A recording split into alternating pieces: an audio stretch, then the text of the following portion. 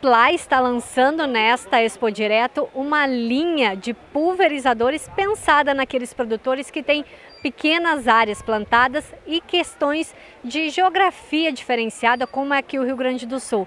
Rodrigo, esse pulverizador, quais são as, as especificações dele?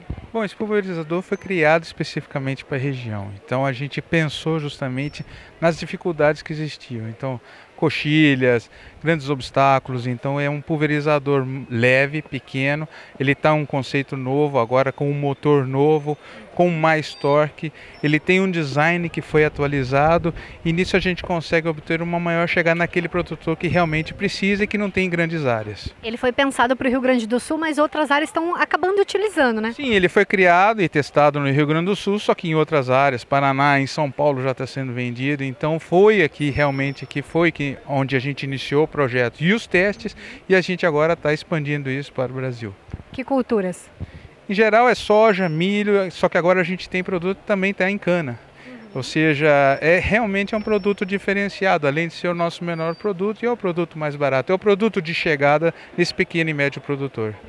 E que projeção a gente pode fazer da PLA para esse ano?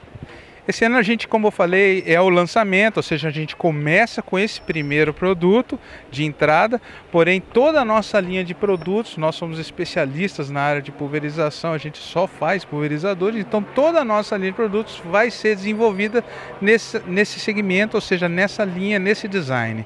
Então a gente, ao longo desse ano, a gente vai fazer vários lançamentos com os, o restante dos outros produtos. A marca também está passando por um reposicionamento, né? Sim, é, a marca justamente, a gente está fazendo um trabalho de posicionamento da marca e a reboque vem os, os produtos. Ou seja, a gente está trabalhando muito forte, não só os produtos como o cliente já conhece, mas também a nossa marca para a gente fazer essa projeção nacional. Então é um trabalho muito grande para fazer justamente com que a gente consiga consolidar e fazer cada vez mais com que o nosso cliente conheça a nossa marca. Perfeito, obrigada. Rodrigo. Muito obrigado.